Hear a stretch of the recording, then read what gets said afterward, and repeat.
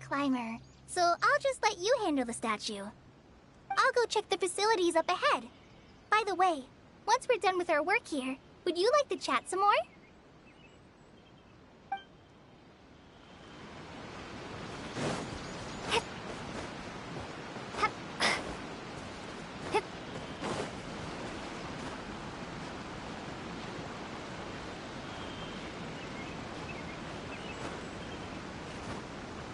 Huh.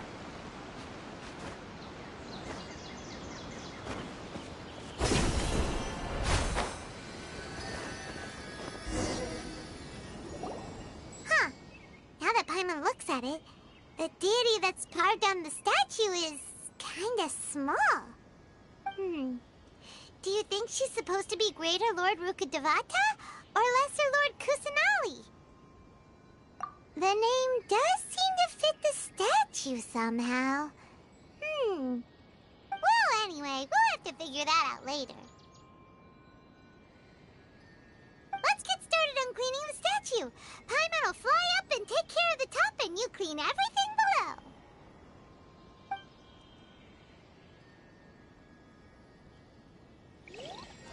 Nice work! That's one clean statue. Let's head down and meet up with Collei.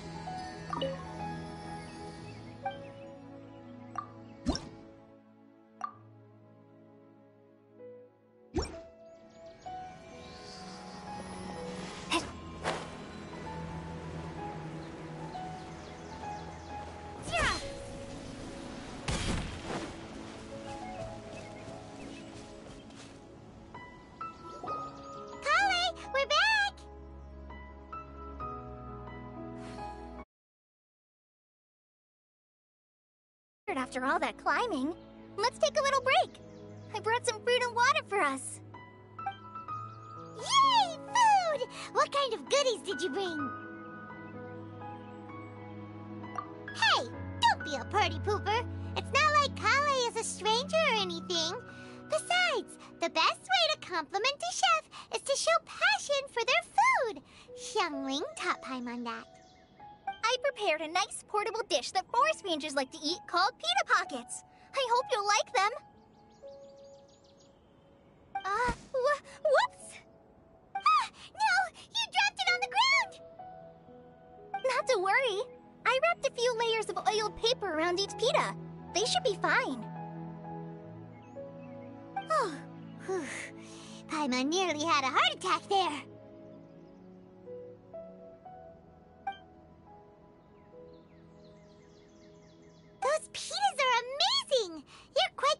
Collei. Thank goodness you wrapped them in paper. Paimon wouldn't have been able to sleep at night knowing something so tasty had been wasted. You really know how to compliment the chef, Paimon. Since you liked it so much, I'll be sure to give you a copy of the recipe sometime. I'll even include all my personal cooking pointers, so you'll be making your own pita pockets in no time. Yay! Thanks, Collei! It's hard to believe someone as diligent as you could have clumsy moments, too. Oh, uh, I guess it happens from time to time. So, uh, Collei, don't you think that Tighnari's a little too strict with you? He won't let you touch anything without his permission. Paimon knocks stuff over all the time flying around the Traveler, but she's never said anything. Everyone has their clumsy moments. No, no, you've got the wrong idea about Master. Uh, sure, he may seem a bit harsh at first, but with some time, you'll see that he's actually very kind hearted. I've heard the veteran rangers say that Master is from some ancient and mysterious race that is known for their cunning wit and reclusive nature. Oh, by the way, you've heard of the called, uh, um, um, uh, uh, um, something? well, anyway, because Master does a lot of research on plants, sages from the academia have written him many times, inviting him to take up an official position there. But Master declines their offers every time, saying, Sumeru City is too noisy. It'd be bad for my ears.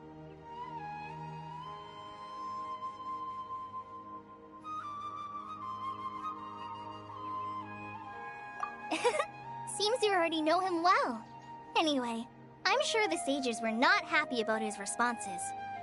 Master could obviously have a bright future in the academia, but he insists on sticking to the path of a forest watcher. Every day he helps the locals of the forest and passes on his extensive knowledge to trainees like me. In fact, Master's the one who taught me how to make pita pockets. Really? Paimon would have never guessed that. Oh, speaking of Tighnari, he was the one who took care of you after finding you passed out yesterday. He even carried you all the way here. Paimon's still kinda upset, though. He kept scolding Paimon the entire way here.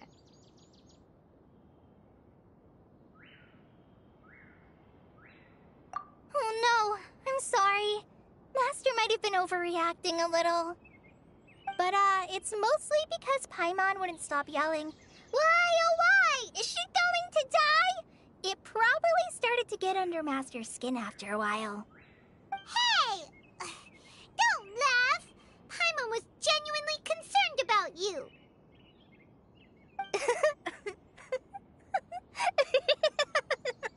Hey! Now even Collei started to laugh. Ugh,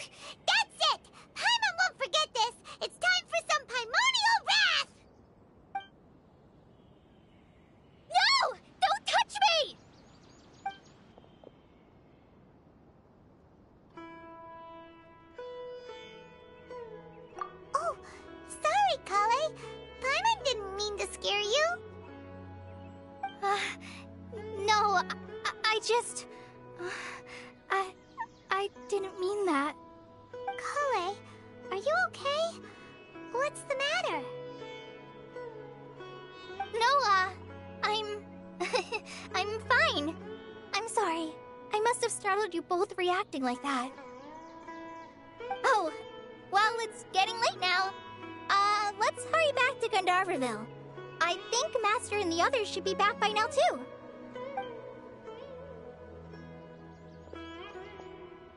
Huh? What was up with Collei just now? And why is she in such a hurry all of a sudden? Look, she's practically running back. Paimon can't even see her now. Ah,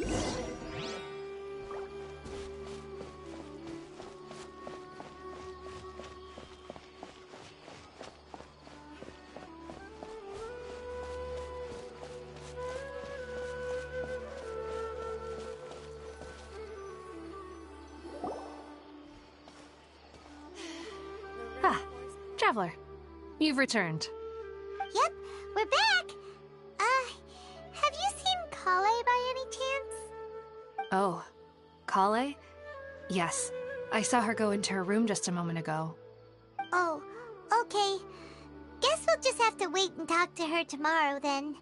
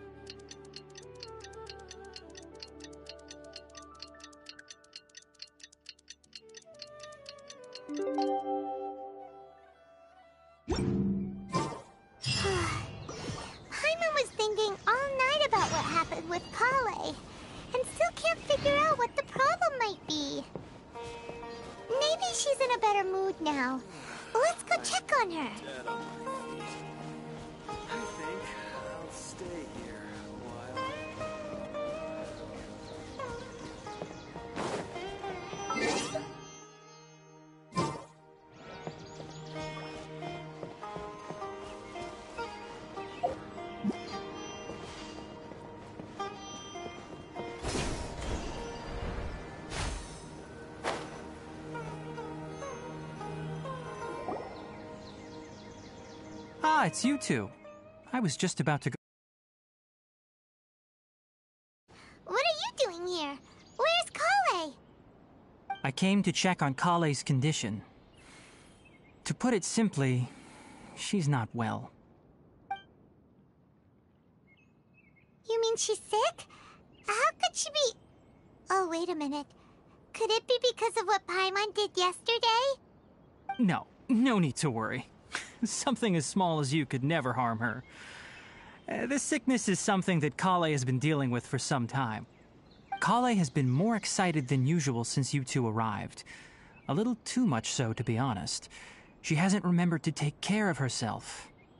I suppose it's understandable, though. She hasn't been around anyone she considered a friend for some time now. It must have been refreshing for her to have you two here. So, Tighnari, what's really wrong with Collei?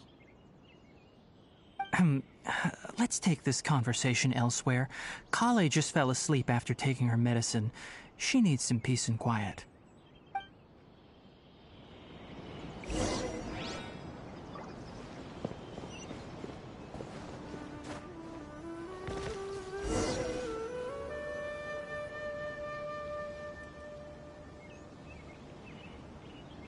All right, let's continue our conversation here, shall we?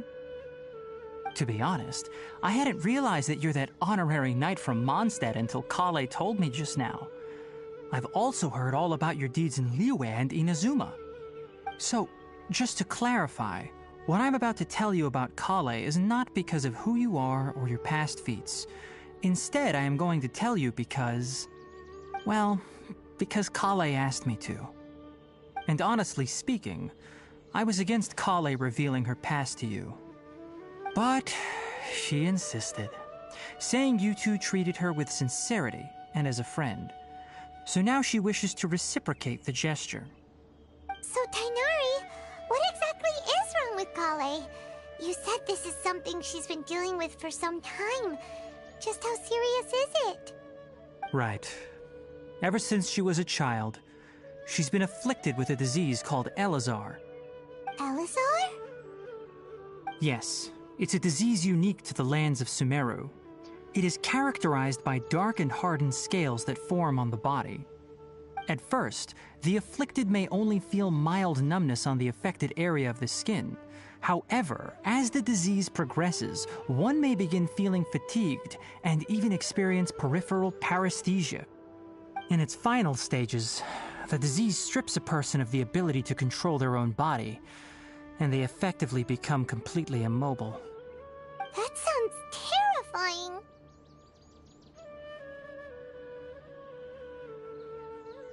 Wait, hold on. So when Collei seemed to be acting a little clumsy earlier, it was because... Correct. That would be the effects of Eleazar, which is precisely why I do not want her carrying or holding anything, lest she ends up hurting herself.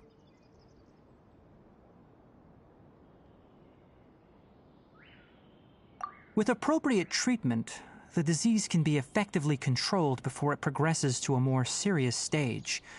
However, there is unfortunately still no true cure for Eleazar. Nevertheless, Collei's mother still hoped that there was something out there. She handed Collei over to an organization known as the Fatui after one of their members lied and said they had a cure. What? The Fatui? Ah, it appears you are already familiar with them. That'll save me some explanation. Anyway, the person who eventually rescued Collei and brought her to me for care said that she had been given to a harbinger known as the Doctor. I have no idea how this doctor managed to do it, but her case of Eleazar was completely stable for all the years that Collei was with them. However, Collei's days with the Fatui were anything but pleasant. Collei is a resilient individual and always tries to appear cheerful, but her experience with the Fatui has left deep scars. Even now, she can still feel deathly afraid of someone touching her. Been through so much suffering. Oh, by the way, Paimon, Collei wanted me to tell you that she's sorry for scaring you yesterday. She also wanted both of you to know that she's sorry for hiding her illness. She doesn't need to apologize. None of this is her fault at all. Well said. I hope you'll get a chance to tell her that in person the next time you see her. Collei once thought that it would be impossible for her to have any real friendships. I trust that you two will never let my trainee experience such emotional pain again. Don't worry, Tighnari. We'll take good care of her. Well, it's not too serious at this point. She overexerted herself the last couple of days, which is what led to her breakdown this time. As long as she has taken her medicine and gets plenty of rest, she should get better. Though, I must admit that Collei's condition was much more stable when she first arrived here in Gandharvaville.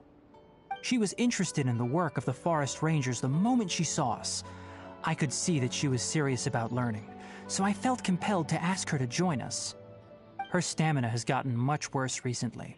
Though a moderate amount of physical exercise is always necessary, I'm afraid the long distance patrols are a little too much for her now. All right, now that I've told you about Collei's past, I think I'll head into the rainforest to find some ingredients needed for her medicine. I'll see you two later. Yeah, we'd like to do something to help Collei too. All right, but I must warn you two. The rainforest is a dangerous place, especially for someone who's still recovering like the Traveler. You must follow closely and listen to every instruction. No problemo. Let's go then. We'll be looking for a plant known as lunar lotus. It's often used to help those afflicted with Eleazar recover their energy.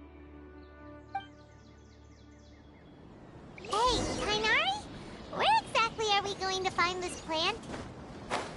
Lunar lotus can be found all over the rainforest, but it often grows right here around Gandharvaville. Hmm. Given the name, it sounds like we should be looking for it in the water. You are correct. Lunar lotus grows in the water. When fully matured, they look like giant blue flowers floating on the water's surface. Quite an attractive species, if you ask me.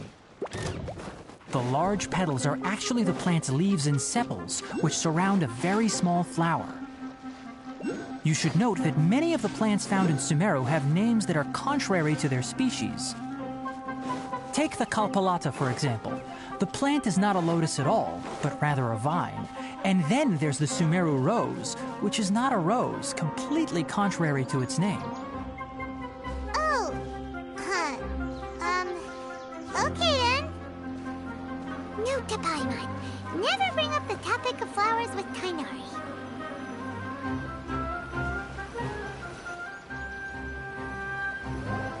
There should be lunar lotuses growing somewhere in this area. Let's split up and begin searching.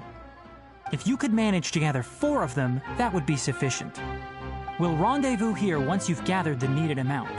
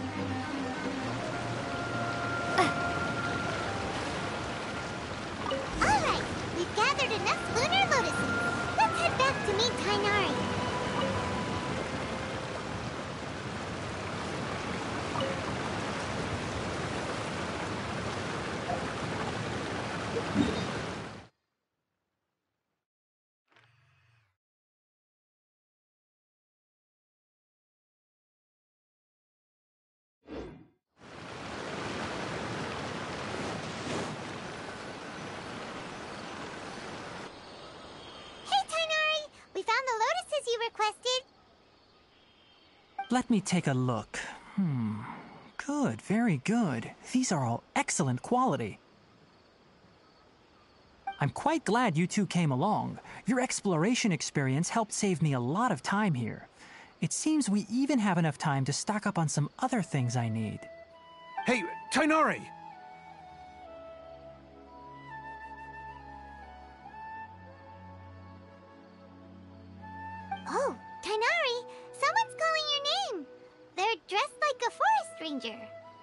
Ah, yes, that's Amir and the others. But didn't they just set off not too long ago? What are they doing back so early? Let's go find out what's going on.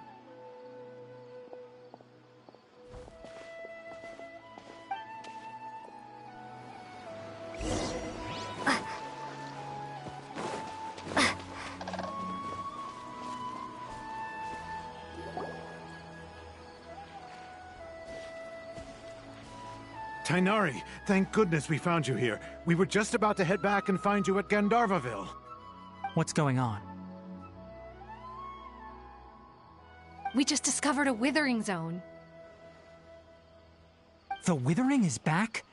But the patrol route you were on should have been already clear just a week ago. It reappeared so quickly. Can you tell me the exact location? It's up ahead, deep in the river valley. It's appeared in a spot that blocks nearly the entire narrow part of the valley area, so we decided to come find you as quickly as possible. And the radius of the contamination? Sorry, I couldn't get a clear enough view to tell. No one in our patrol team had a vision, and it appeared to still be spreading, so we didn't risk getting any closer. Okay, I understand. You made the right decision. Hmm, I'll go deal with it right away.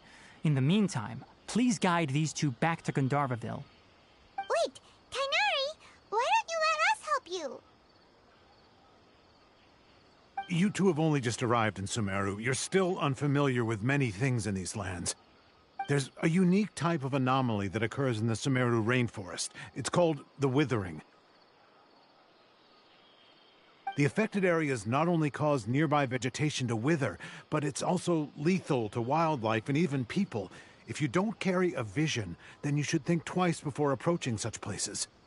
Yes, Amir is absolutely right. I wasn't kidding when I said the rainforest is a dangerous place. As Amir said, only someone with a vision, that is, the power to manipulate elements, will be able to resist the withering's corrosive effects for a time. That's right. If any of the forest rangers without a vision come across a withering zone, we first make a record of the location and then have a ranger with the proper abilities deal with it, like Tighnari here. Only someone with a vision can venture within a withering zone and find a way to deal with it. But you don't seem to carry a vision. Don't worry, she may not have a vision, but she's a real pro at using the power of the elements. Sweat it. We've helped others deal with similar situations before. Wait, you've met other forest rangers before? I was planning to properly show you both how to identify the withering before you left Gandharvaville. Anyway, since you two are experienced adventurers, come with me. I'm sure you'll both be able to help.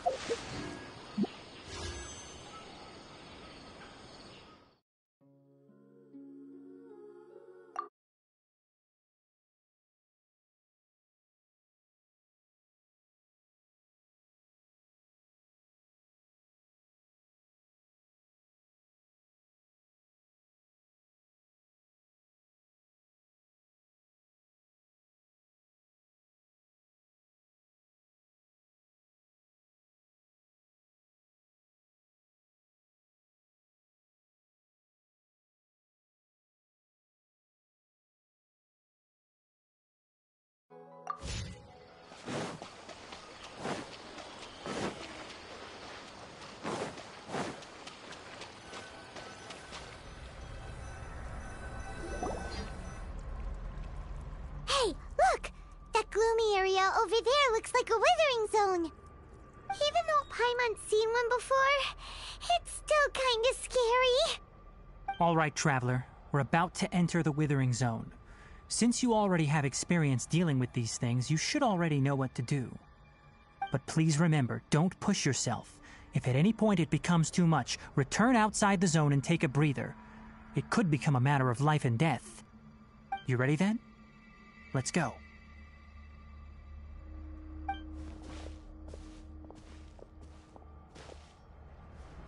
First, we must locate any branches sustaining the Withering Zone.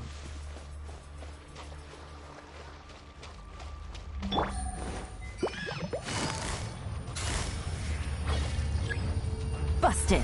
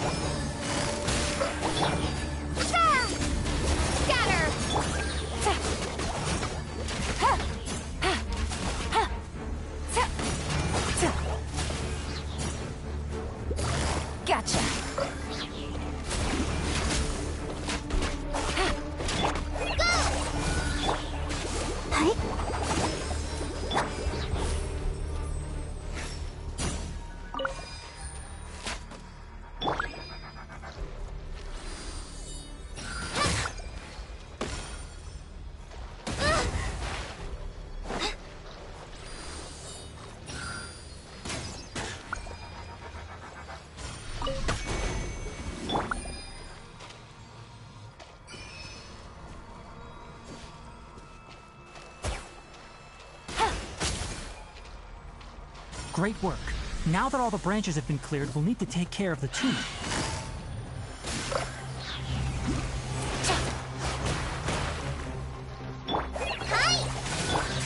Things are about to get dicey. Quietly now. Now, destroy the tumors of the withering.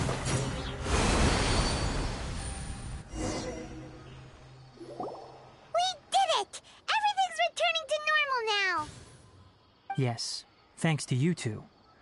We were able to quickly restore this area back to normal. Um, Tighnari? You make it sound like we did well, but why does Paimon have the feeling you're worried about something? It's that obvious, huh? Alright, it's like this.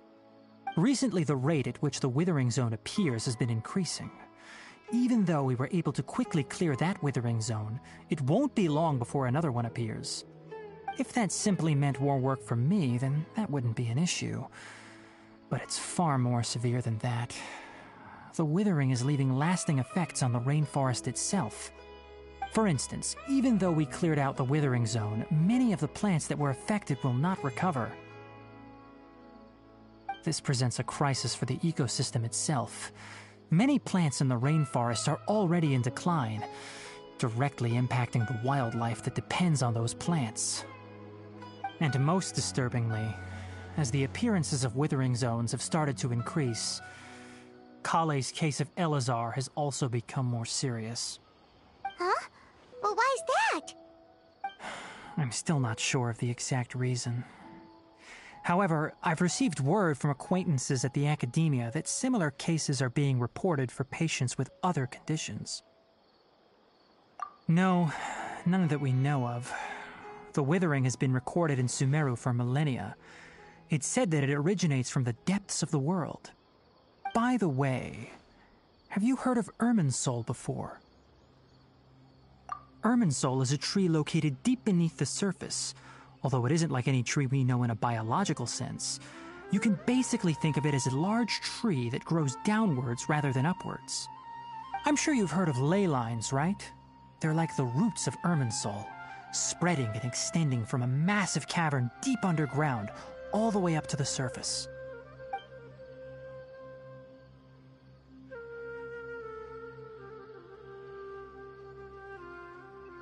Ley lines continually absorb the memories of this world, which are then funneled into Irminsul, allowing it to collect knowledge and wisdom from ancient times to present day.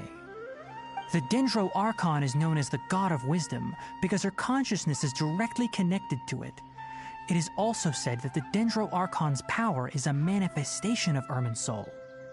And as for the Withering, its emergence is related to a disease that's affecting it.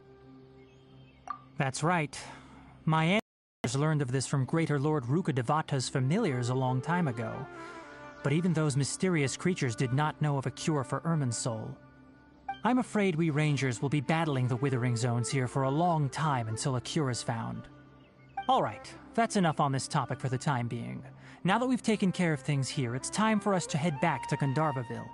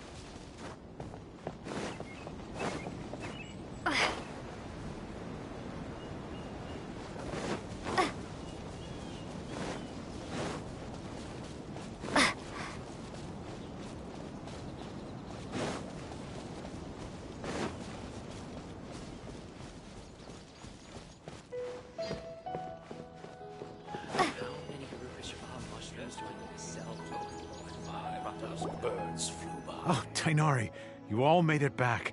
How did it go?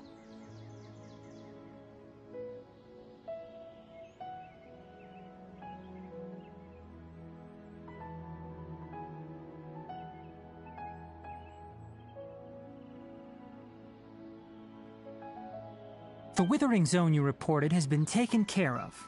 No need to worry. Huh. Wait, is that?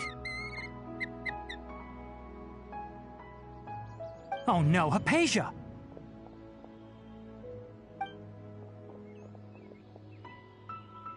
Huh?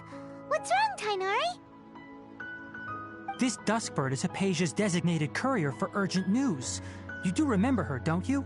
She's the scholar you and Paimon were following when you first arrived in Sumeru. Oh, her? How could we forget? Uh, so did something happen? Let me see what's written in the letter first. Hmm. Oh. So what's it say? And what's with that weird expression on your face? Uh, just let Paimon read it. Huh? Uh, all Paimon sees are three squiggly lines. Yes, allow me to explain. After we brought you from Hypatia's cave to Gandharvaville, Hypatia resumed her meditation. She must have just finished. It's been nearly three days since she's had anything to eat, and it appears she's forgotten to prepare some rations.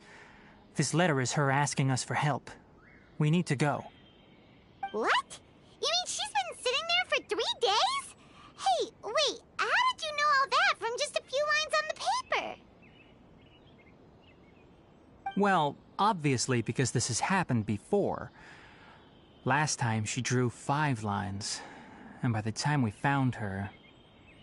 well, I'd prefer not to remember that. Needless to say, Hypatia's been through worse, but we should still get to her as quickly as possible. I've got some emergency rations set aside for times like these. Paimon, Traveler, could you two bring these to her? Wait, you want us to bring her the rations? Uh, but will the traveler be okay if her cave is still filled with that funny incense? Let's find out. Here, Traveler, take a smell and see. So, how do you feel? Huh? Really? You're not feeling even a little drowsy? But wait, how'd you know that she'd be okay this time, Tighnari? Back when we were clearing the Withering Zone, I observed that she could adeptly manipulate the Dendro element. I knew then that she would be fine. And if I may ask, when I was telling you two about Irminsul's ley lines, was what I described similar at all to what you saw while you were unconscious?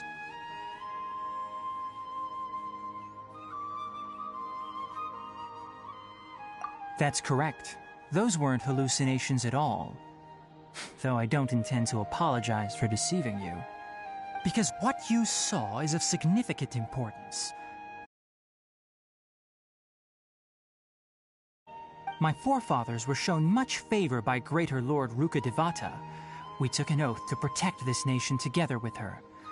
Now that that duty has fallen to me, it was part of my responsibilities to ascertain whether you could be entrusted with the fate of Sumeru. Now, after seeing you in action with my own eyes, you have earned my confidence, and I no longer feel the need to hide any secrets from you.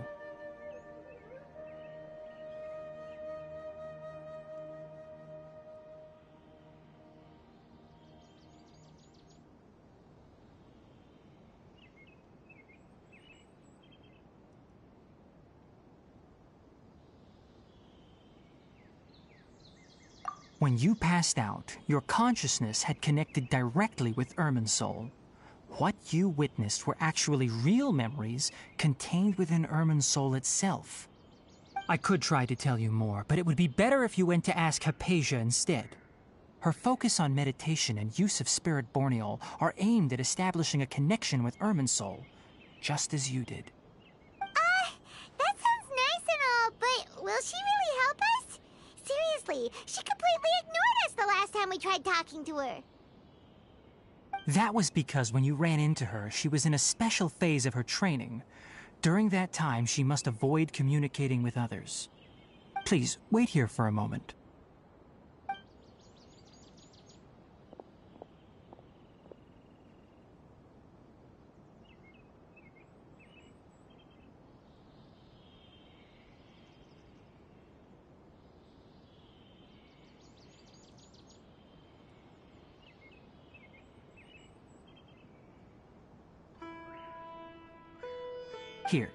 These. It's a meal I packed for Hypatia, as well as some other ingredients.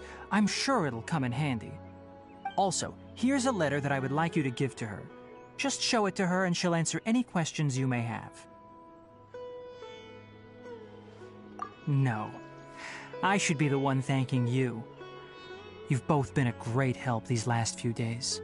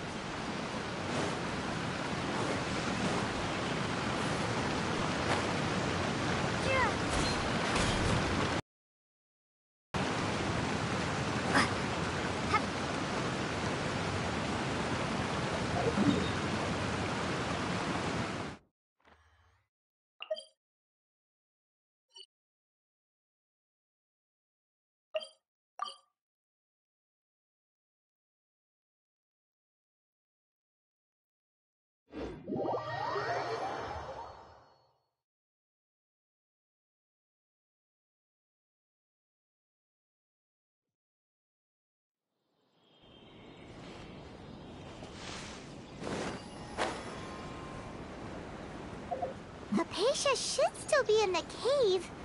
Let's go inside and see how she's doing.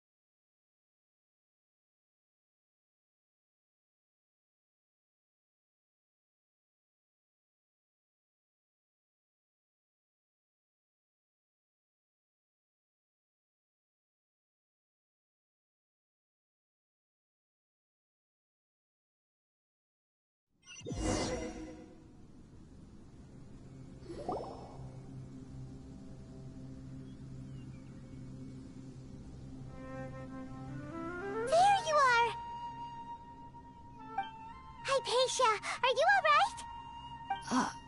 Ah, so hungry.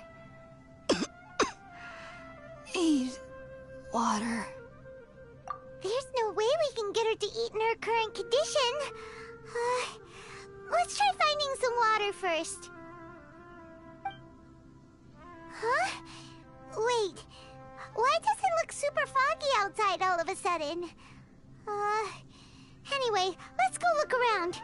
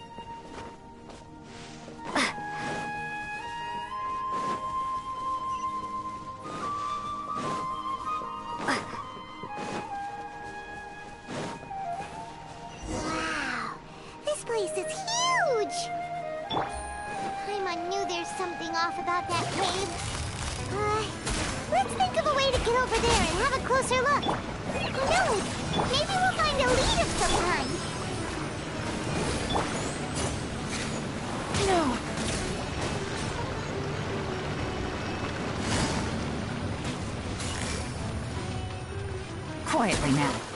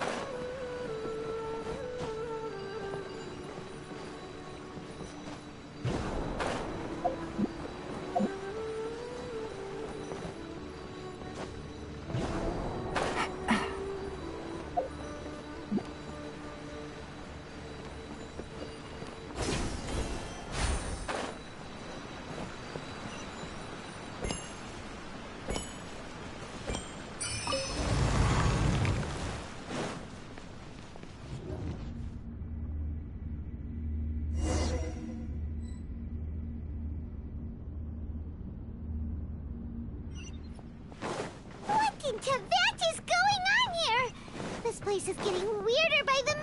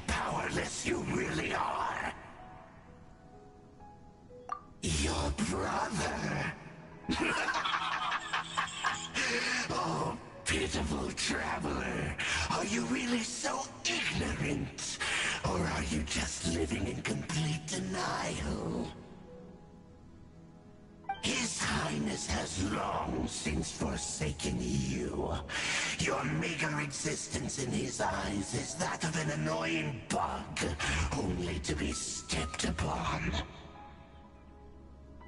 The bonds of love and family which drive you to find your sibling are utterly gone. Your journey is meaningless. But don't you fret now. Today will be your last. Now die!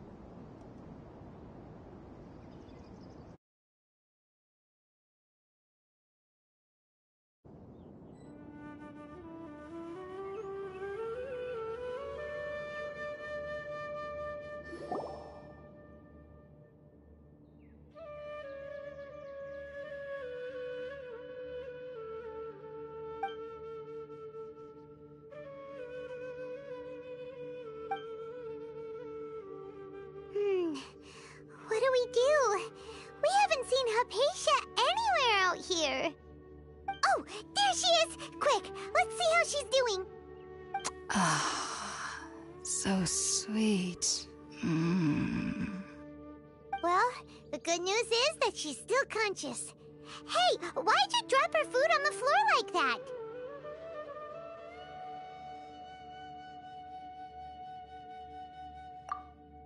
Uh, are you okay? That's really not like you.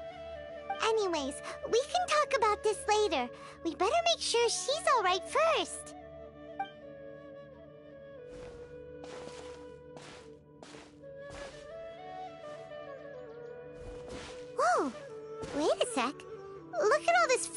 Around her. We can put that to good use.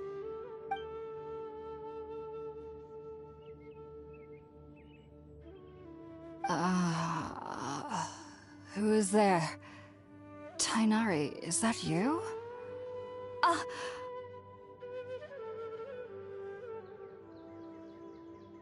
Huh? It's okay. You can relax, Hypatia.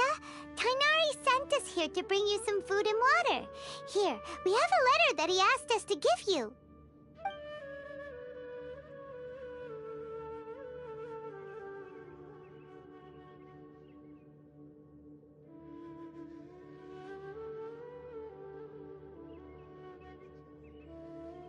I see. So, you're friends of Tighnari. I apologize for all the trouble I've caused you. I'm grateful that you came so quickly to save me. You even brought all this fruit. Uh, well, actually, we didn't bring the fruit. It was already here when we arrived. We were kind of wondering about that, actually. When we found you here, there was all this fruit lying around and even some juice dripping from your lips. Uh, how did you end up like this anyway? Oh? Hmm, I seem to understand now. All the fruit was likely from my, uh, neighbor. Must have come by and saw me like this. Your neighbor? You mean there's someone else living nearby? Oh? So you're able to see them too?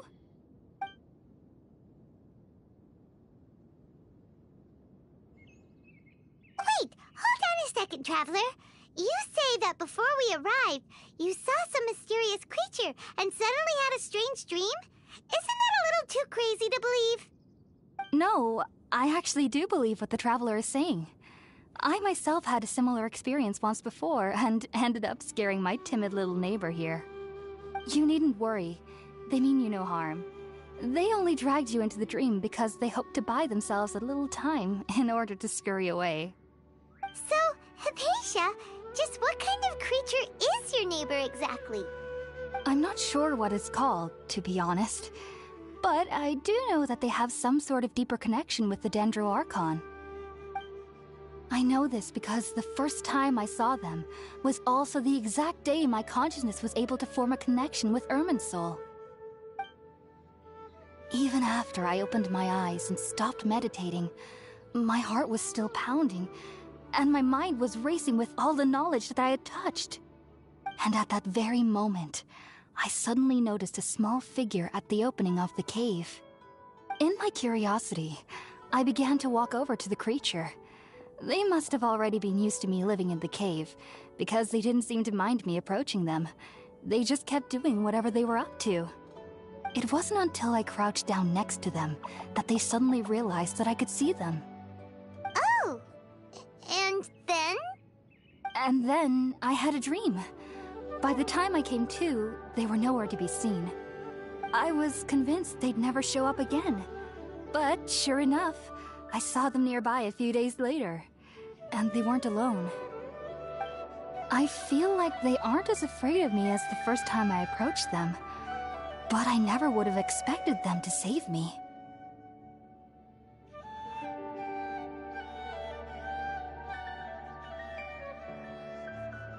Yes, no doubt about that. By the way, Tighnari mentioned in his letter that you had questions for me regarding Irminsul.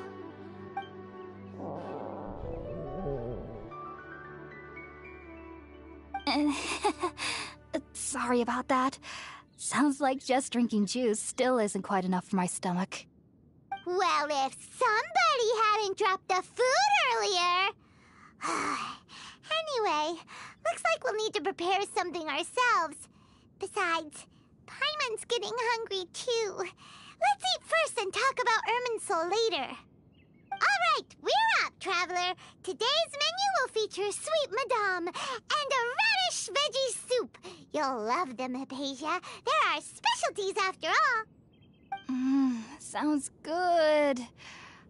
I've never tried any dishes from other nations before. I certainly look forward to it. It's been so long since I've had a decent meal, too. To be honest, the last time had to be when Tighnari came to visit.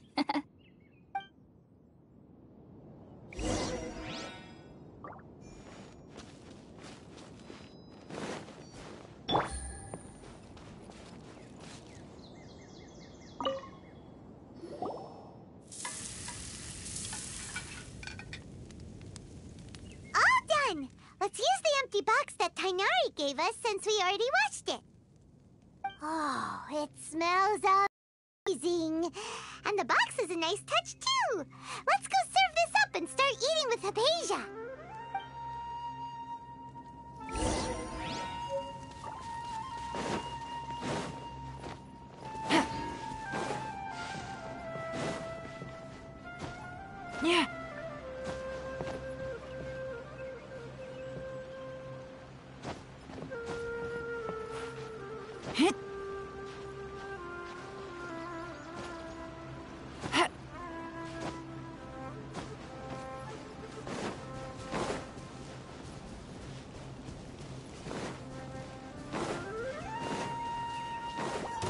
Take it easy.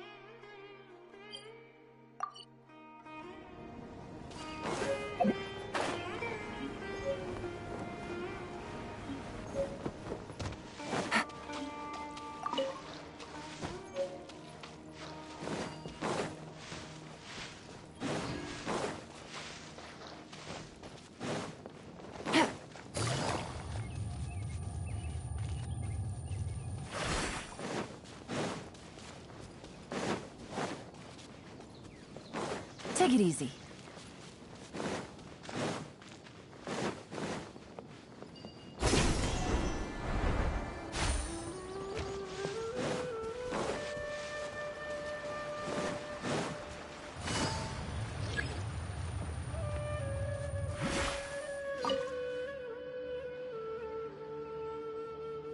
Are you already finished cooking? Mmm, smells delectable. I'm truly thankful whenever I can enjoy a proper meal like this. Uh, cooking really isn't my forte.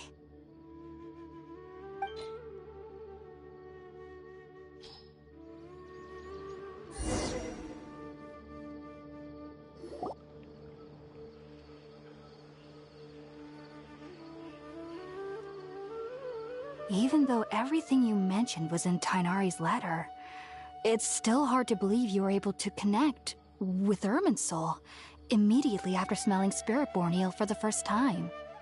It took me nearly three years before I could do so. And everyone at the Academia even lauded me as a genius.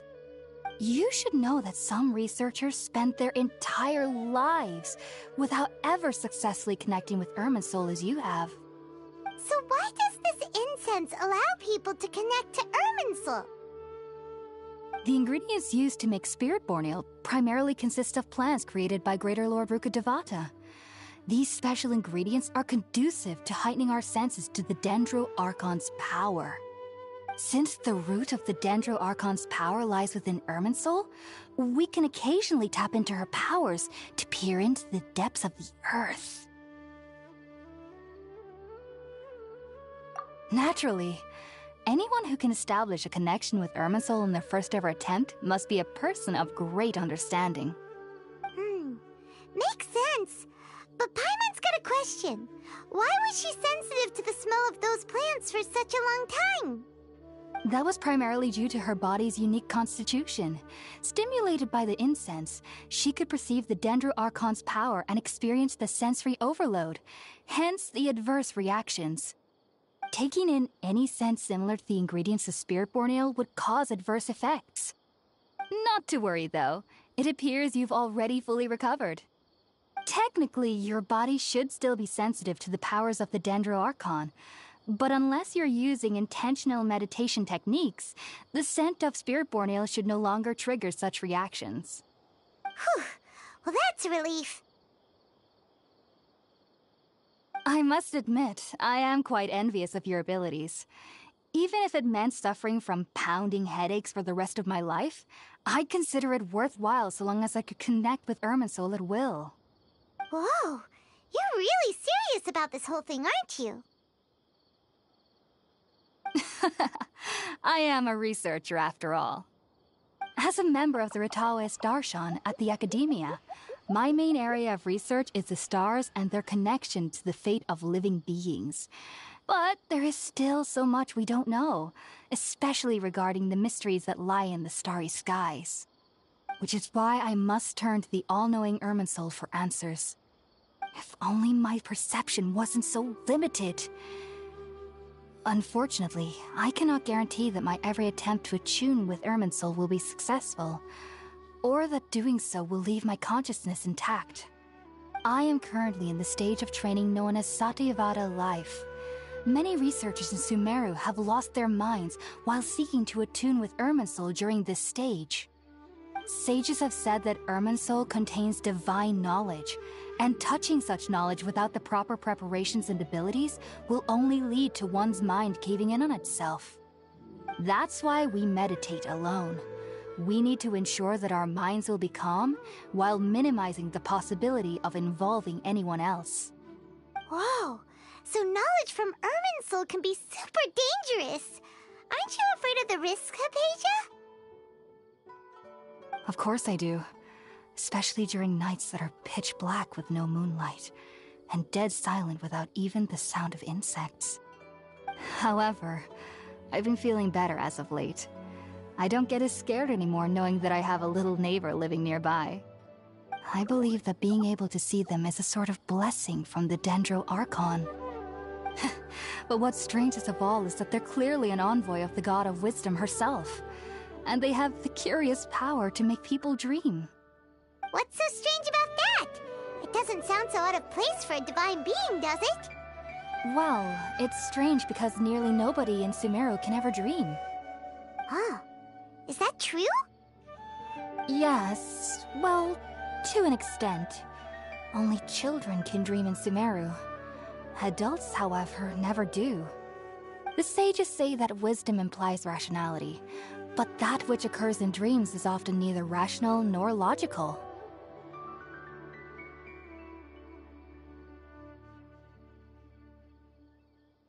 Yes, if one struggles with anxieties, those emotions could influence their dreams.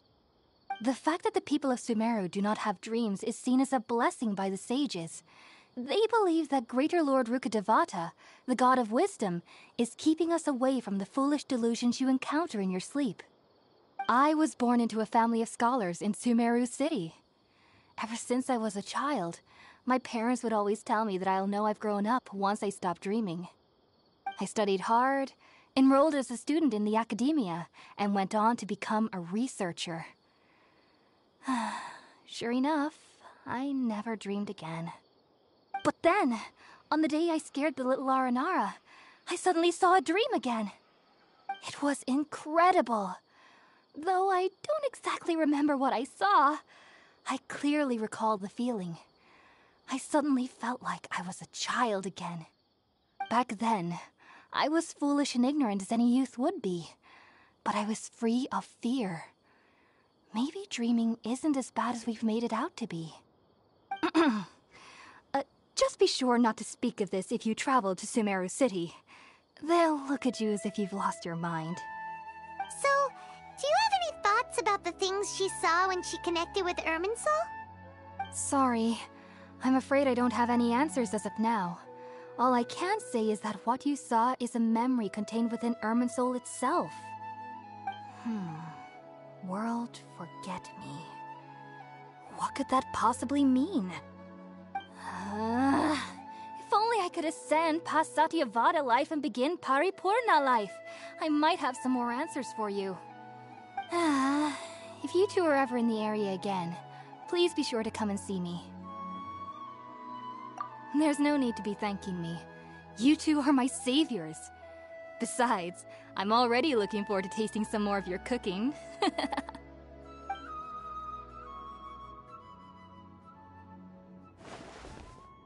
that we know Hypatia is alright and had the chance to ask her some questions, Paimon thinks it's about time to head back to Gandharvaville.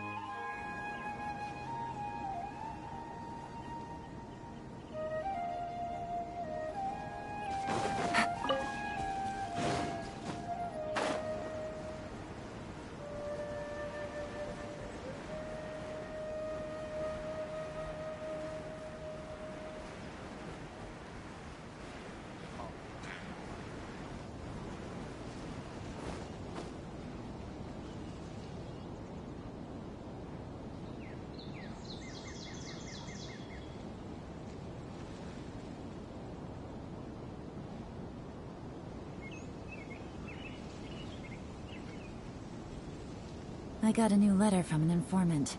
Looks like the situation has changed again.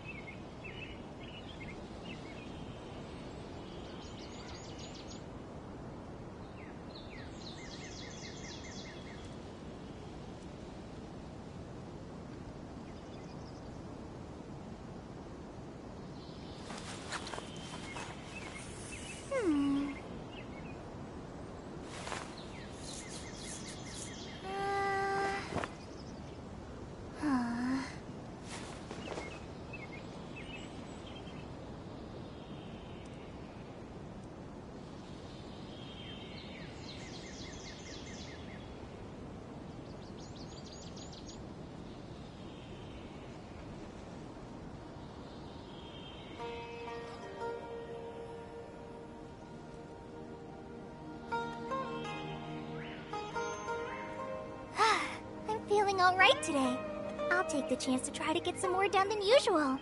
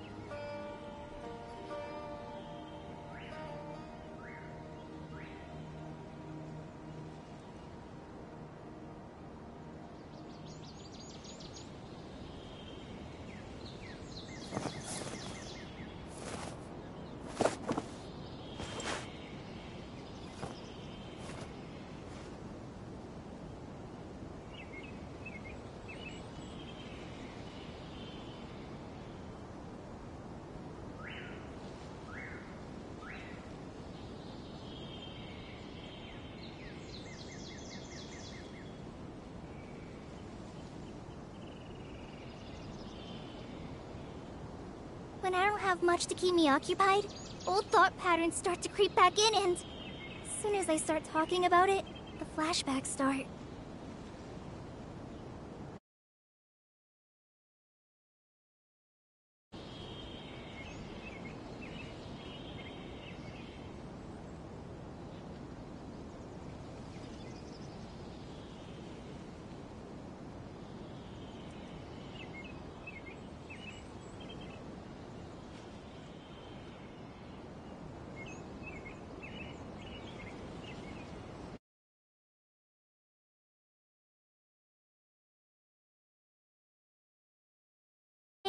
Forest Patrol route map.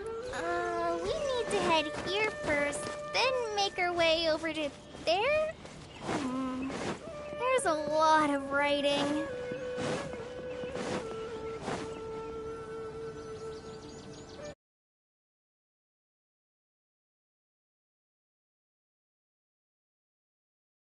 is tantamount to burying your head in the sand.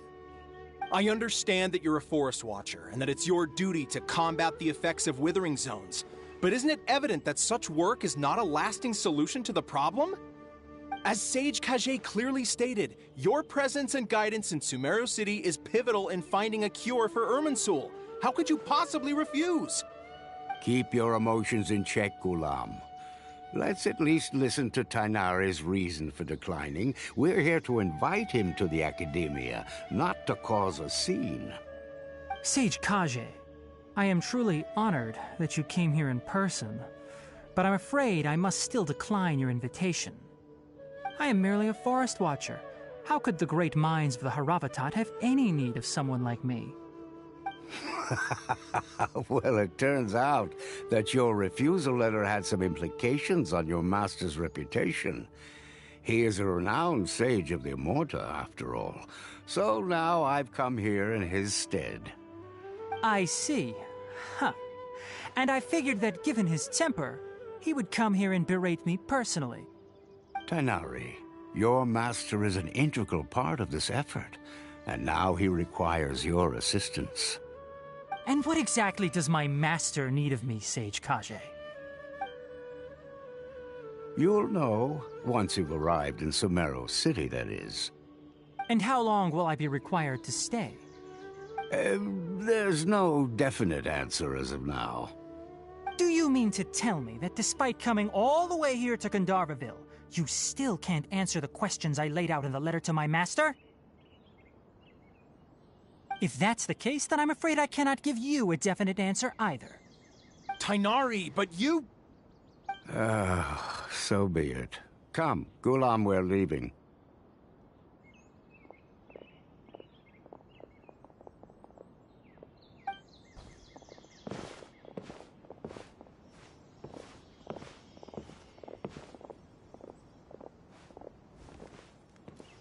Uh, Tighnari, what was that all about?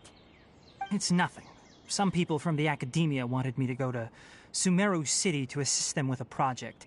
but I had to refuse on account of all my responsibilities here. But all that can wait. How did things go with Hypatia? It was quite the eventful trip, but the main thing is that she's safe and sound. She answered a bunch of questions for us, too. Very good. Now that the traveler has made a full recovery, there shouldn't be any reason for you to tarry here longer. I assume you will be heading to Sumeru City, correct? That's right. We want to meet Lesser Lord Kusanali and ask her for advice. Um, do you have any idea on how we can find her? Sorry. I'm afraid I don't have any advice for you there. Well, do you at least know anyone we can try asking in Sumeru City? Hmm, let me think. My trips to Sumeru City have been fairly short, and most of my acquaintances are researchers. How about this? I'll write you a letter of introduction that you can give to a researcher I know. He's from the Amurta Darshan and is adept at gathering information. Asking him might prove worthwhile. Also, when you enter Sumeru City, you'll probably end up receiving something like this item here. I'm not sure if it will ever come in handy for you, but maybe you can give it a try. Oh? What is it? It's called an Akasha Terminal. It's a tool produced by the Academia that utilizes the legacy of Greater Lord Rukkhadevata. Some say that this very item is the basis of Sumeru's reputation as the City of Wisdom. Needless to say, this device and its usage fall under the Academia's expertise, so I'll leave it to them to show you how to use it. Great! Next Sumeru City! Uh, oh, but wait, before that. That's right! Tighnari, we have something important to say to Collei before we leave. Is she doing better now? Yes, she's doing much better. After being confined to her bed all this time, I thought a little walk would do her some good. Last I saw her, she was taking the path towards the North Crossing. She knew you two would be leaving soon, so she must have wanted to see you off. Thanks, Tighnari. All right, let's go! Farewell, and good luck to you both.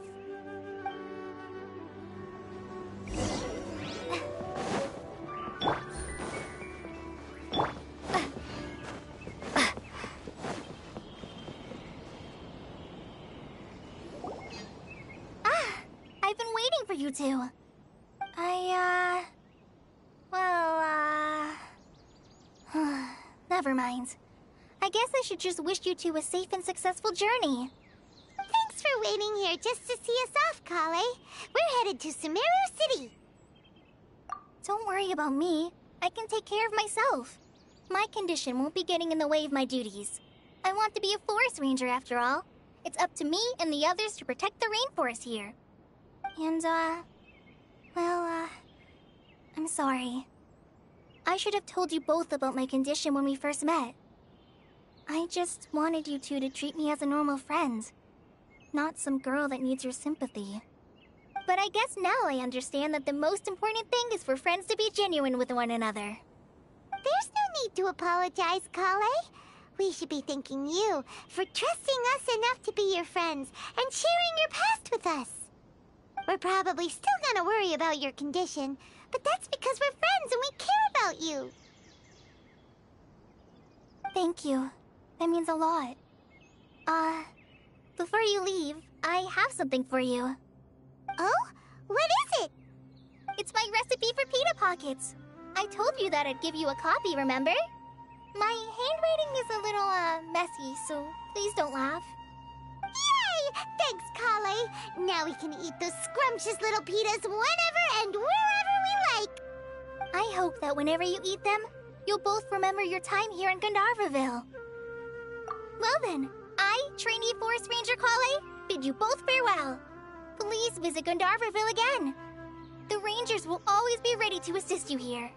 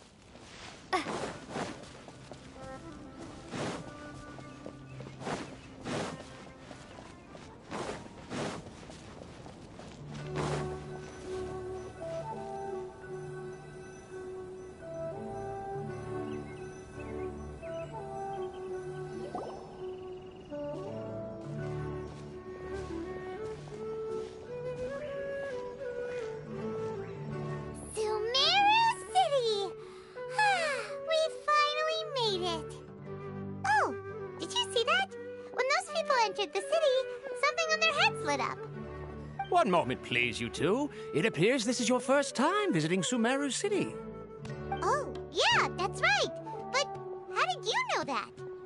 Because there's currently no information on either of you in the Akasha.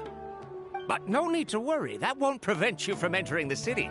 In fact, the Academia conveniently provides each traveler to Sumeru City with a device. Mm, perhaps you too have heard of the Akasha before.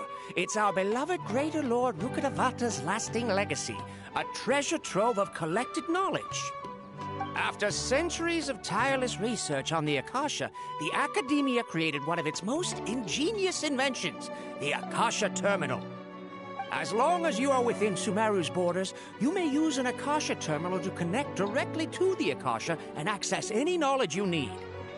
I should mention that due to technical limitations, the operation of Akasha terminals will be much smoother and more effective in large cities such as Sumeru City and Port Ormos. Oh, so this is the thing that Tighnari was telling us about. It sounds pretty amazing. You two are quite fortunate. Until recently, it was standard practice to only issue Akasha terminals to outlanders who spent an extended amount of time in Sumeru. However, this policy was recently changed, and now all travelers are issued one upon arrival. Here are your Akasha terminals. Please handle them with care. it kind of looks like a leaf. To activate it, simply hold it in your hand and say the following phrase to yourself May the mighty God bless us with their voice of wisdom. Since this little doodad lets you access knowledge, maybe we can use it to find a way to meet Lesser Lord Kusanali. Let's give it a try. May the mighty God bless us with their voice of wisdom.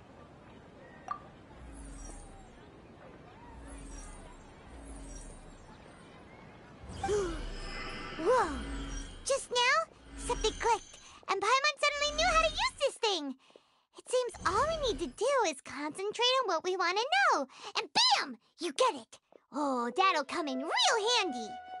Exactly. That is the power of the Akasha. And with that, let me officially welcome you both to Sumeru City. May the wisdom of the Dendro Archon always be your guide. Okay, now that we're in, we can check the Akasha about Lesser Lord Kusanali. Let Paimon try. Hmm. 500 years ago, the sages found a newly born deity from within some scorched ruins. The deity now resides in the sanctuary of Surasthana. Hmm. Seems pretty similar to what Collei was telling us. Okay, next, let's concentrate on asking how to meet her. Hmm. Uh, huh? Uh, Paimon doesn't sense anything. Akasha didn't respond to Paimon's question. Oh, come on! Ugh. Focusing on this question feels like when you have something you're trying to remember and it's on the tip of your tongue, but you just can't think of it. Ugh. Paimon's brain is exhausted. Oh, smart idea. But what are you going to ask it?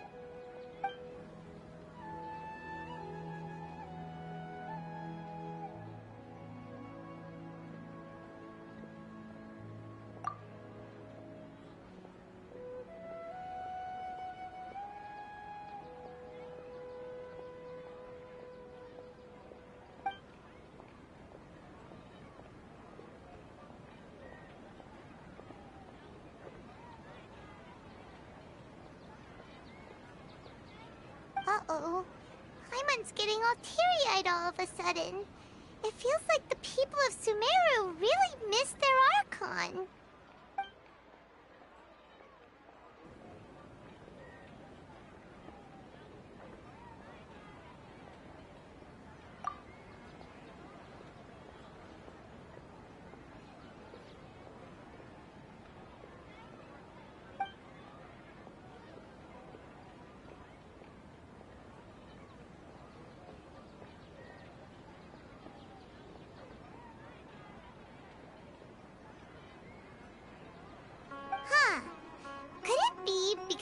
Outlanders and we've only just arrived in Sumeru?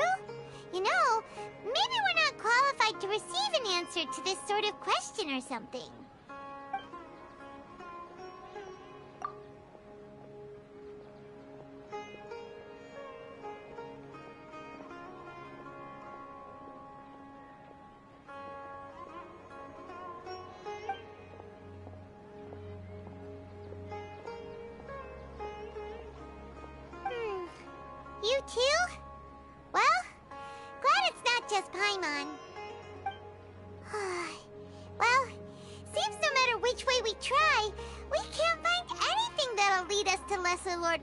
Kusanali. Hmm. Guess our only choice now is to try meeting with the researcher that Tighnari recommended. He's from Sumeru and even has a position in the Academia. Maybe he'll be able to access more info from the Akasha.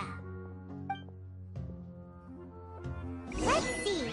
Tighnari wrote an address on the letter's envelope. Oh, it's not far from the city's gate. Let's head over and have a look. Hopefully he's at home.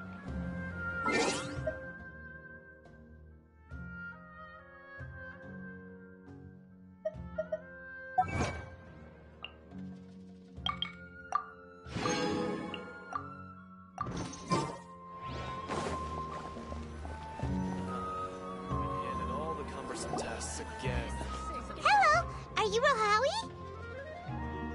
Yes, that's me. Can I help you? Great! You see, What? Tighnari? I. Please, th- there's no need to say anything, really. Sure, I admit that the article I published last month wasn't my best work, and maybe the data didn't produce the most convincing results, but Here! This is a letter from Tighnari! Oh, let me see. Oh! Ooh, what a relief. You two nearly scared the life out of me. So, you two just have some questions for me? Seems even Tighnari acknowledges my innate ability for procuring information. So, what is it you two would like to know? We want to meet with Lesser Lord Kusanali.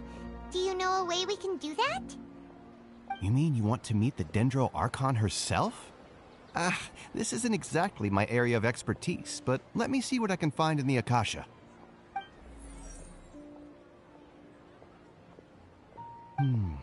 Sorry, the Akasha didn't respond to my query. What? You too? But what about your abilities for getting information and all that? Paimon was sure you'd be able to access more info than we did. Well, as I said, this isn't my area of expertise. I am but a lowly researcher, so the Akasha doesn't see a need for me to know more about the Dendro Archon. All I know is that ever since Lesser Lord Kusanali returned to Sumeru, she's never left the Sanctuary of Surasthana or made a public appearance. Huh. Didn't expect her to be such a mysterious figure. The Dendro Archon is somewhat of a recluse. Perhaps she just doesn't want to entertain visitors, which would explain the lack of information in the Akasha. Aw, but then what can we do? to worry just yet. I'm only hypothesizing here. You could certainly try asking around and see if anyone else has ideas. And besides, you two should consider the bright side of things. Not being able to see Lesser Lord Kusanali may not be a bad thing.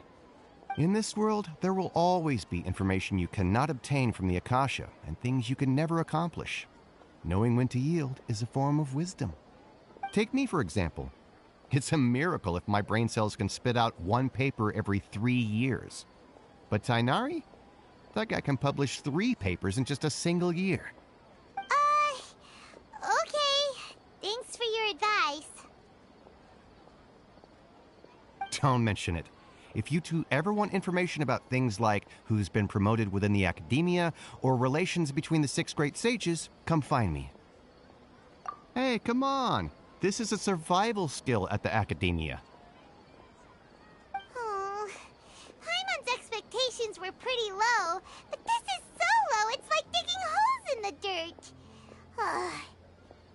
so what do we do now? Even if we want to talk to someone, we don't know anybody here.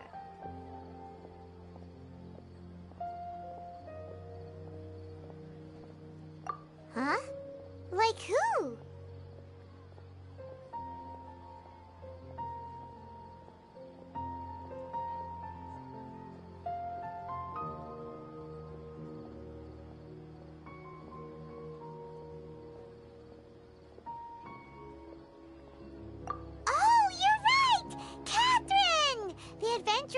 Has its own intel network. Let's hurry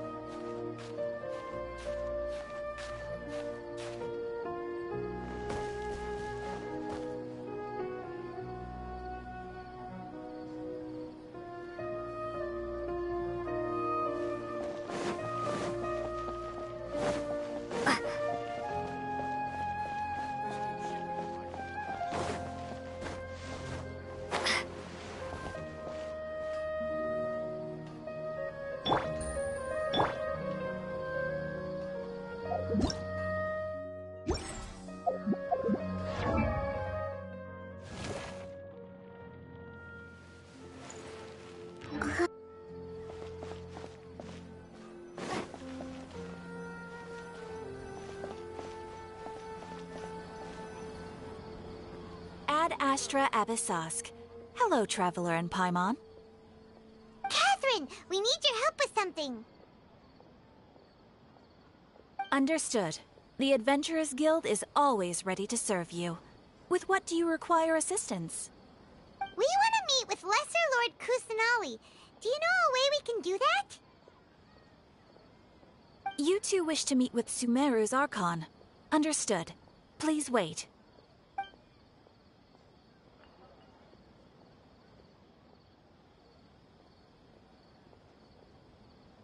I apologize, but I am unable to call up any relevant information in the Akasha. I'm also unable to locate any pertinent information in my personal memory. Aww, another dead end. Well, if Catherine can't help us, then we really don't know anyone else to ask now. Please do not worry. I may know of someone who can help you two.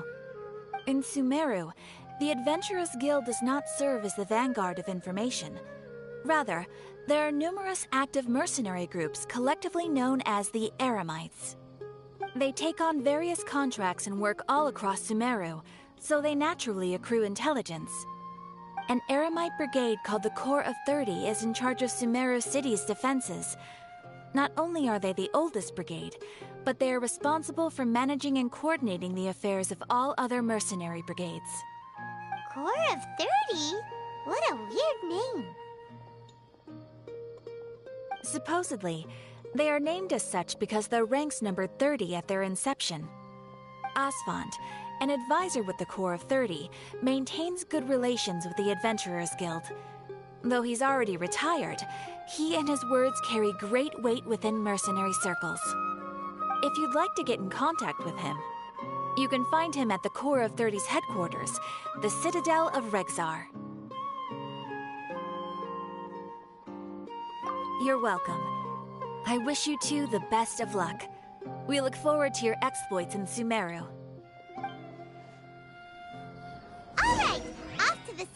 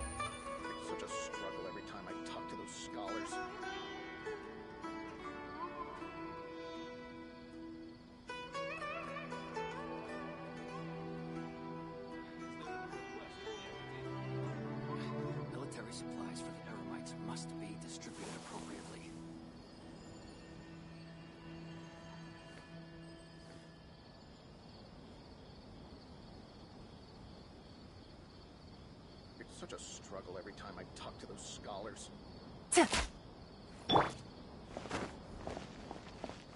Propagate! Is there a new request from the Academia?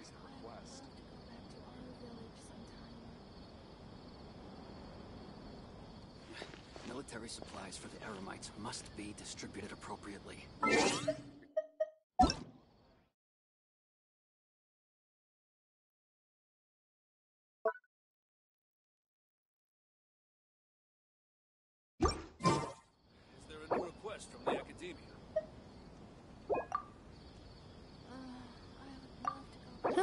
Good roll. All right, maybe I'll take one more day off and knock out the rest of the work once I'm feeling up to it.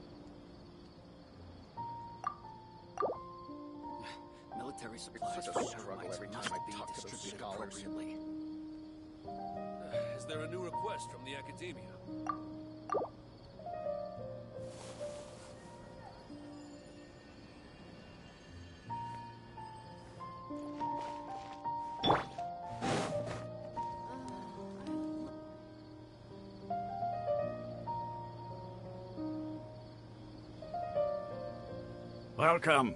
The Adventurers Guild told me to expect you to. It's nice to meet you, Asfand. We'd like to ask you about something.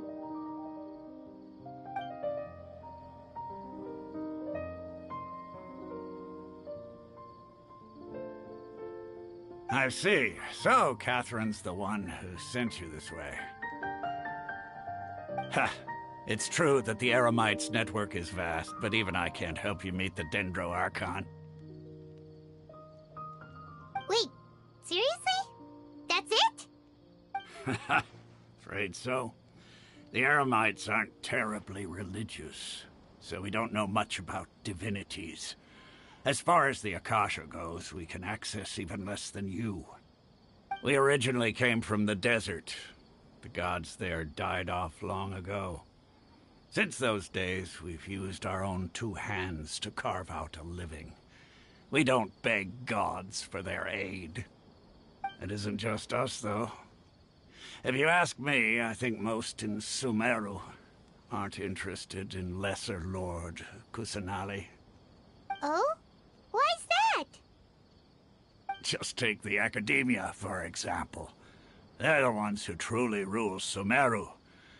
Although they believe in gods, most of them only care for the late Greater Lord Rukkhadevata. In their eyes, she was the one who founded Sumeru and gifted us with the Akasha. Lesser Lord Kusanali just happened to inherit her legacy. Because of the Academia's influence, most citizens are more familiar with Greater Lord Rukkhadevata and hold her in greater esteem. Not to mention that Lesser Lord Kusanali never makes an appearance, and the Academia never announces anything about her. As far as the people of Sumeru are concerned, she's just a god that exists. And that's all. Really? Aw. After hearing all of that, Paimon sort of feels bad for Lesser Lord Kusanali. Ha! But who knows? We're all just guessing when it comes down to it. Besides, I'm sure the God of Wisdom doesn't worry about her reputation among people like us. All right. Well, thanks for the info, Asfand. no problem. Always happy to help out the Adventurers Guild.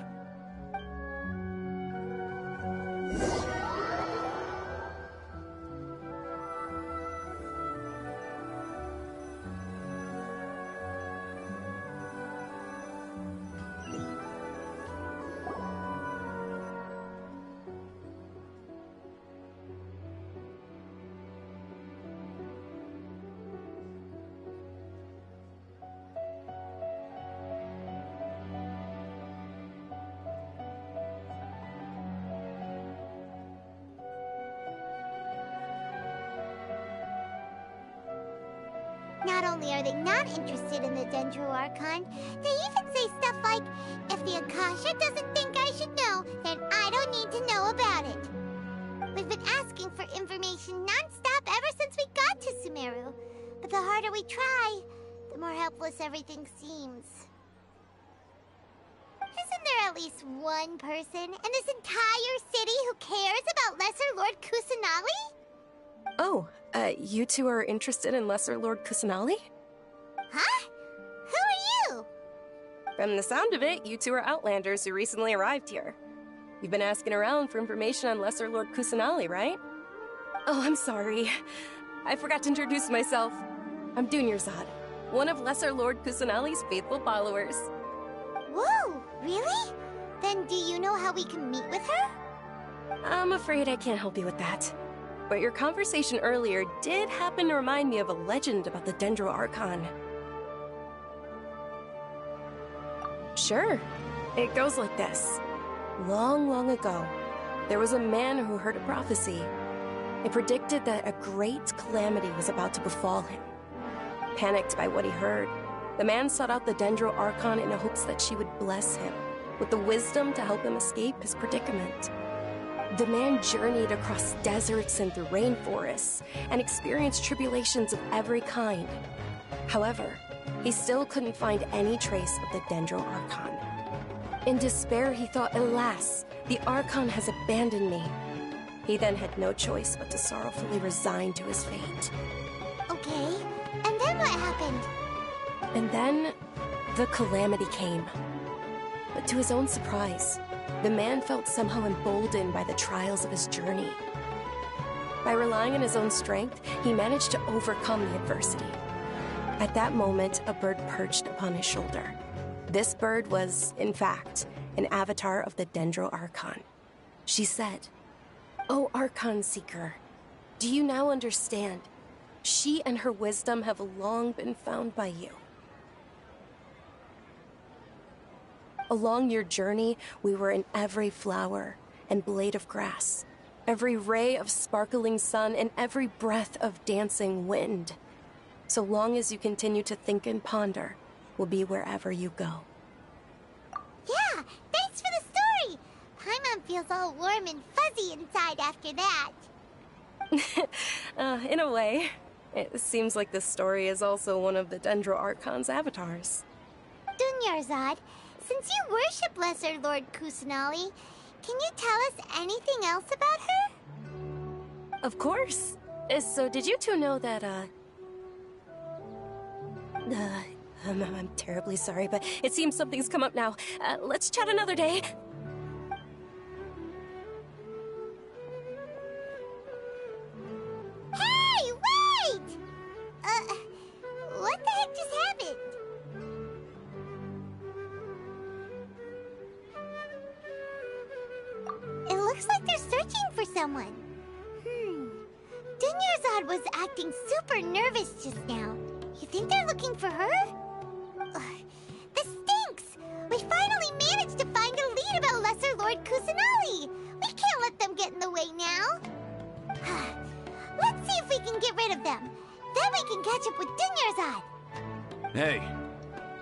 Seen a brown haired girl wearing a purple top and a long blue dress? We're looking for her. Uh, did she have bandages wrapped around her wrists? Yes, that's her. Did you see which direction she went? Uh, yeah, she went that way. Quick, after her!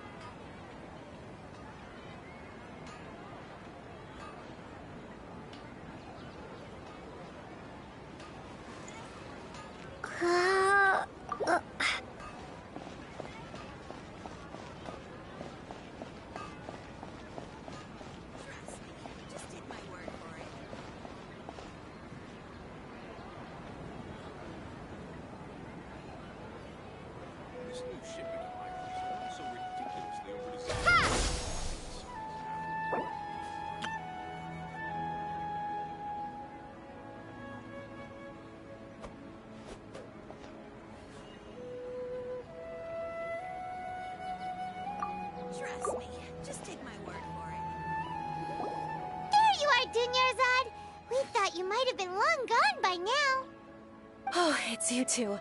Oh, you startled me there. You can relax now. We threw those people looking for you off the trail. Really? Thank you so much. Unfortunately, I believe there's still more of them out there looking for me. Uh-oh, looks like there are some coming this way. Huh? More of them? Then what are we standing here for? Run! No, wait, I, uh, my body isn't in the best shape. Uh, it's difficult for me to run. Okay, sounds good. There's a tavern on the other side of the port we can go to. They probably wouldn't expect me to hide in a place like that. All right, let's move out. Stay behind us. We'll keep an eye out for anyone looking for you.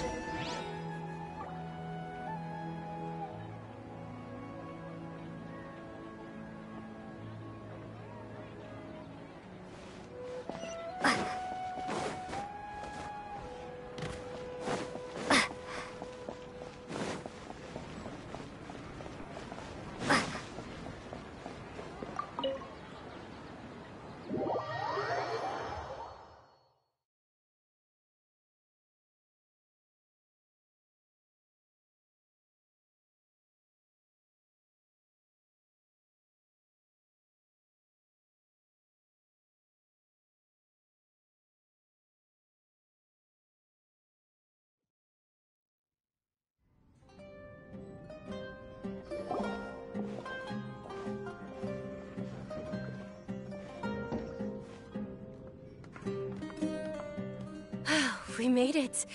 Oh, they shouldn't be able to find us now. Wait, stand down, Dehya.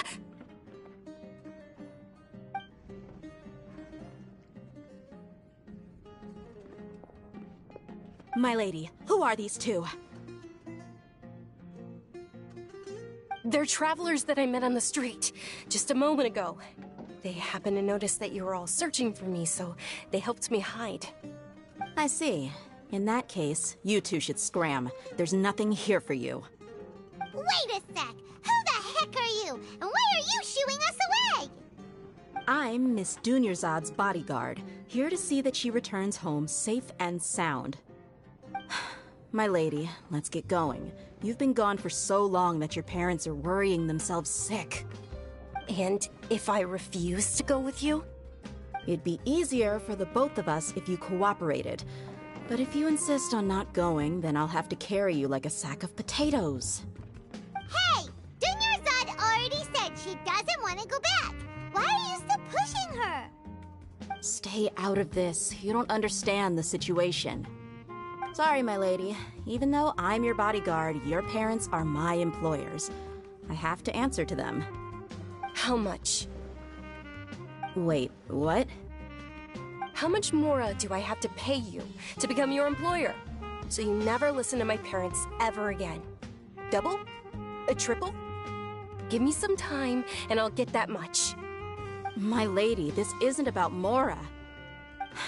I don't know what you think of us Eremites, but let me say this. I like Mora, but I'll never go against principles. That's why I'm here looking for you. Sure, it's an order from my employer, but my conscience was also telling me it's the right thing to do.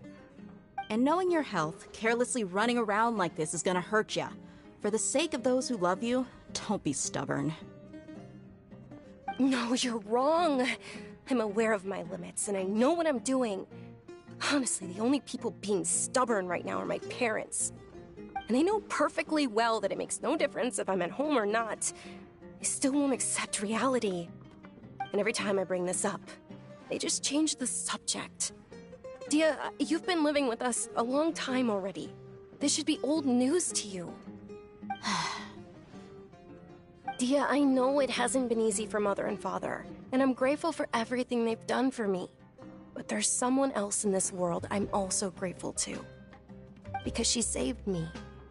The love I have for her is the same I have for my parents. This is my life and my last chance. So I want to do something meaningful.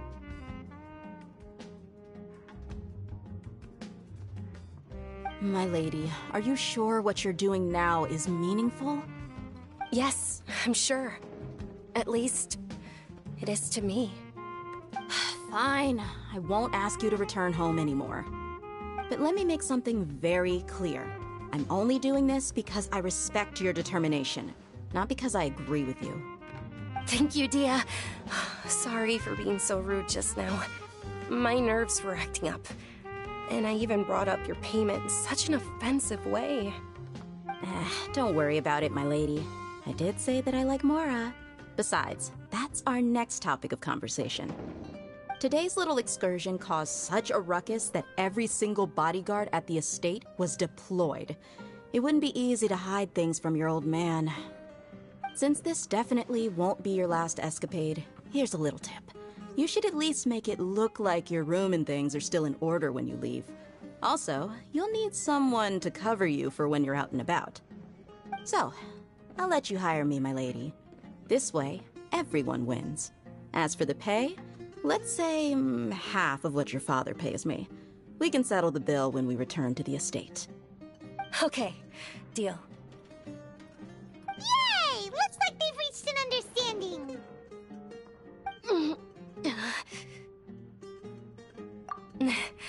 I'm fine, really. I, I just feel a little tired now that things have calmed down. My lady, stop trying to look tough. We're already in a tavern, so let's rest up and grab some grub. I'm sorry for worrying you two. If you don't mind, I'd like for you to join us.